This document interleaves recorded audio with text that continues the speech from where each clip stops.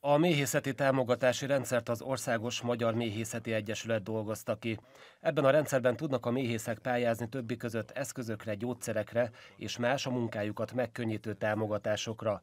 Ezekre a fejlesztésekre eddig 4,7 millió euró állt rendelkezésre, ez a keretösszeg most tovább bővül, mint egy 400 ezer euróval évente. Ez a támogatási rendszer úgy épül fel, hogy az 50%-át az Európai Uniótól kapjuk, és a másik 50%-át a magyar kormánytól, tehát így áll össze a támogatási keret, és ez mély családra van leosztva. Ha a mély családok száma emelkedik évről évre, akkor ez a támogatási összeg is emelkedik. Hazánkban az átlagos méh család sűrűség meghaladta a 12 méh család per négyzetkilométer értéket, amivel Európában első helyre kerültünk, illetve a megtermelt méz mennyiségében a harmadik helyet foglaljuk el a kontinensen.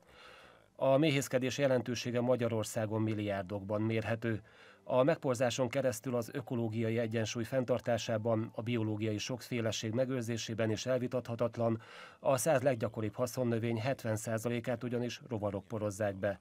A bővülő támogatási források következtében tovább erősödhet az ágazat hazánkban. Mindenki örül a támogatásnak, főleg, hogyha ezt kapják a, a termelők, tehát örülnek, terveznek rá, és ami problémát jelentett talán, hogy az alacsony mézárak, az idei alacsony méz, felvásárlási mézárak, ezeknek a támogatásoknak előfinanszírozásos, tehát meg kell venni és utólag lehet visszaigényelni, tehát az alacsony mézárakból kevés a bevétel.